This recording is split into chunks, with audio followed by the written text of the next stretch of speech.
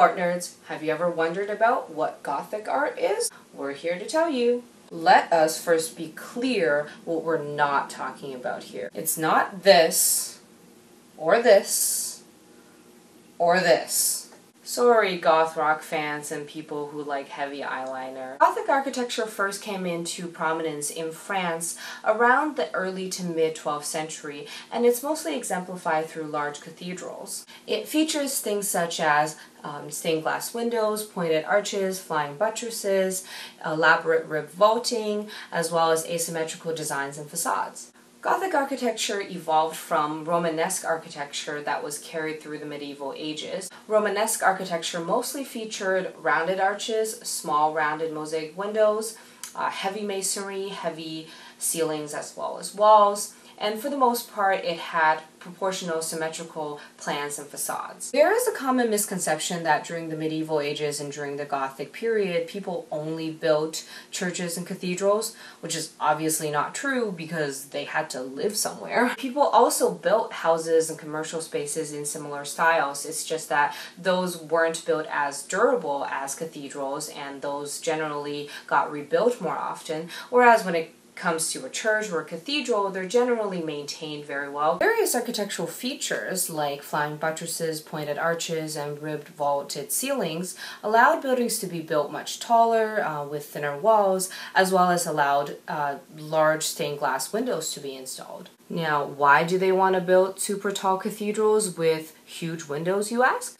This is mostly due to the fact that various French cities like Chartres, Reims, and Amiens were competing to have the largest cathedral in the world at the time. So apparently the taller your building is, the higher you reach the heavens, and therefore you worship God the most. The term Gothic originates from the term Goths, which were what the Romans used to describe Germanic tribes in the medieval period. It basically means barbaric, which is how the Romans felt about Germanic tribes at the time, or anyone who's not Roman for that matter. The term Gothic architecture was first used actually in the 16th century by Italian scholars and they actually used this term to describe architecture in the 12th century in a derogatory way because at the time they weren't very interested in this type of pointy, uh, elaborately designed architecture. And they felt that it was kind of messy and barbaric. The tallest completed Gothic cathedral from the early Gothic period is the Amiens Cathedral in France. It's about 120 kilometers or 75 miles north of Paris. It was built from 1220 to 1270. It reaches an internal height of about 42.3 meters or 128 feet. Now, Gothic art, specifically sculpture and painting, it refers to a broader period of artistic styles in Europe at around the same time, roughly 12th to 14th centuries.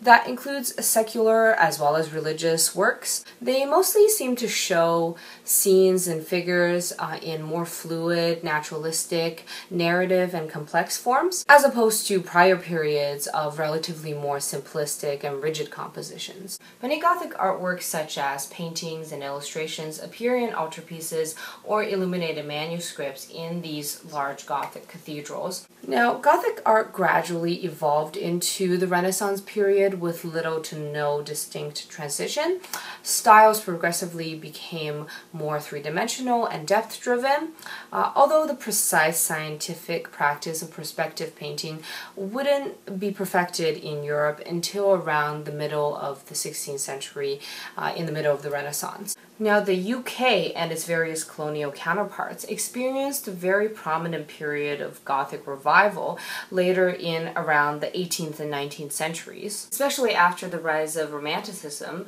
where people gained a new appreciation and longing for medieval decorative arts and architecture. And thus, many well known buildings, such as the Palace at Westminster, the London Bridge, as well as the Parliament buildings in Canada, uh, in Ottawa, Ontario, uh, were built with with very distinctive uh, Gothic revival styles. Thanks for watching and please let us know if you have any cool and interesting facts about Gothic art and architecture and please leave us a comment if you have any suggestions on what we could do in a future episode and don't forget to subscribe.